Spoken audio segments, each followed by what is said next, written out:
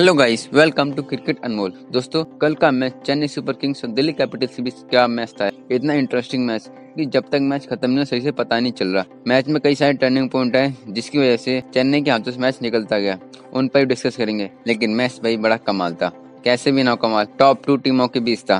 Chennai super Kings, जो सबको हराते हुए आ रही है, एक अच्छे फॉर्म में अच्छे अच्छे खिलाड़ी हैं। दिल्ली कैपिटल्स, जो अच्छा करते हुए आ रही है पिछले दो सालों से यंगस्टर है तो भाई बहुत अच्छा किया। तो चलिए चर्चा करते हैं शुरुआत से मैच पर कि क्या क्या हुआ।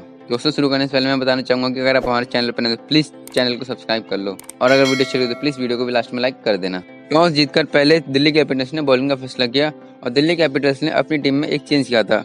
वो स्टीवन स्मिथ की जगह लाए थे रिपल पटेल को।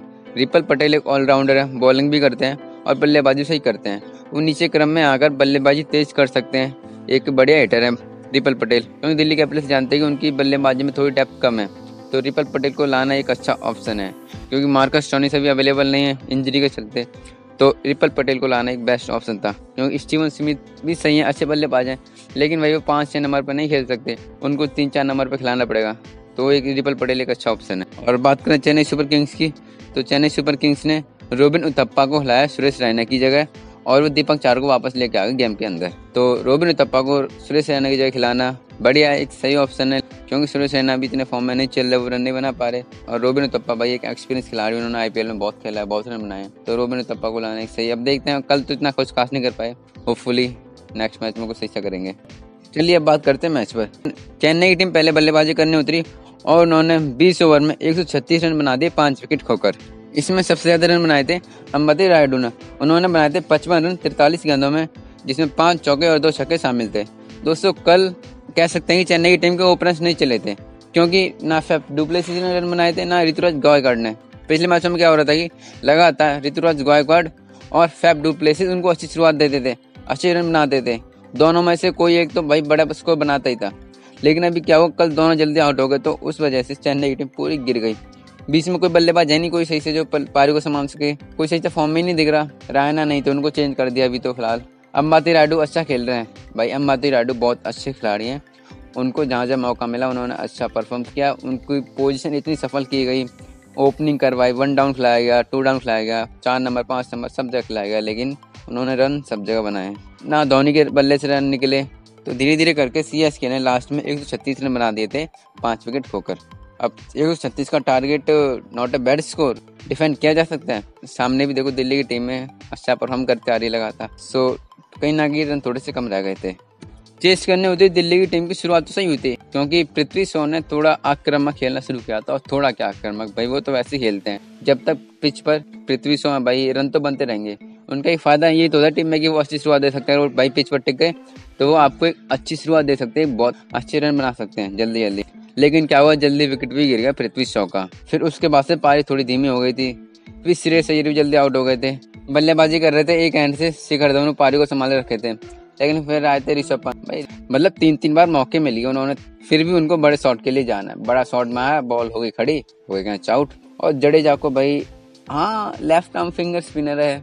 और आप एक लेफ़्ट हैंडेड बैट्समैन है बॉल अंदर आ गया आपके लिए। लेकिन भाई रविंद्र जडेजा, कैसे तुम इसके लिए इतने मारने के लिए जाओ? तीन तीन मौके मिले। लेकिन भाई अब वो कहते हैं ना कि बक्के रहेगी अम्मा कब तक खैर मनाएगी। लेकिन फिर लास्ट में आउट हो गए। बल्लेबाजी करने आए थे फिर रिपल पटेल। रिपल पटेल ने भी रन बनाए, उन्होंने अठारह रन बनाए। मैच के अकॉर्डिंग खेले भाई, ना, नहीं जाते खेल सके। लेकिन फिर वो भी जल्दी आउट हो गए थे। लेकिन कल एक बड़ा ही शौक डिसीज़न लिया था दिल्ली की टीम ने।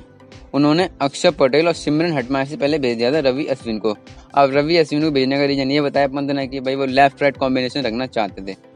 क्योंकि अक्षर पटेल और हटमार दोनों लेफ़्ट हैंडेड बैट्समैन है। और भाई टीम को वहाँ पे मुझे लगता है कि फैसला सही था, क्योंकि अगर वहाँ पे क्योंकि अगर वहाँ पे हटमार जल्दी आए थे, अगर वो जल्दी आउट हो जाते तो भाई लास्ट में मैच फिनिश कर कौन करता? और राइट लेफ़्ट कॉम्बिनेशन रखा वो भी सही था। बट एक नुकसान ये भी है कि भाई प्लेयर पे विश्वास कम हो जाता है ऐसे, कि भाई तू ऐसा मैच में फिनिश नहीं कर सकता, तू जाके नहीं खेल सकता ऑफ़ स्पिन को। बट कोई नहीं देखते जो सही था। अपन उनतालीस रन बना के आउट होते हैं पैंतीस गेंदों में। लेकिन हेडमायर की पारी की बदौलत दिल्ली की टीम यह मैच नौ दशमलव चार ओवर में जीत जाती है। उन्हें तीन विकेट से बढ़िया जीत मिलती है और वो टॉप ऑफ़ द टेबल पर चले जाते हैं। दोस्तों कल के मैच के बाद थोड़ी सी दिक्कतें खड़ी हो गई हैं चेन्नई सुपर किंग्स के लिए। क्योंकि नंबर एक पर पहुँच गई दिल्ली की टीम और नंबर दो पर है अभी चेन्नई सुपर किंग्स की टीम।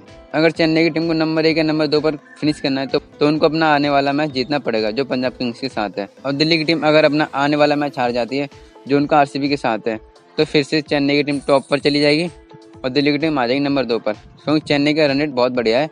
अब नीचे एक और टीम है आरसीबी, जो लगातार लगी पड़ी है रेस में कि भाई मैं भी नंबर दो या एक पर पहुंचूं। लेकिन आरसीबी की टीम नहीं पहुँच सकती, क्योंकि उनके तीन मैचेस बाकी हैं, वो मैक्सिमम बीस पॉइंट तक तो पहुँच सकते हैं। लेकिन उनका रन रेट अभी माइनस में है और दिल्ली और चेन्नई की टीम दोनों का रन रेट अभी प्लस में है। तुम कह सकते कि हमें नंबर एक, नंबर दो क्वालिफायर मिल गए। क्वालिफायर तो हमें तीन मिल गए, लेकिन चौथा क्वालिफायर भाई कौन होगा? इसका भी सही से पता नहीं चल रहा। आज मैच है, उस मैच से काफ़ी सारे डाउट क्लियर हो जाएँगे। आज मैच है मुंबई इंडियंस और राजस्थान रॉयल्स का, क्योंकि इस मैच में अगर जो टीम हारती है, वो टीम पूरी तरह से इस लीग से बाहर हो सकती है। दोस्तों, अगर वीडियो चली तो प्लीज़ लाइक करो, शेयर करो और कमेंट करो। और दोस्तों, अगर आप हमारे चैनल पर नहीं तो प्लीज़ चैनल को सब्सक्राइब कर लो। दोस्तों, बाय। मिलते हैं नेक्स्ट वीडियो में।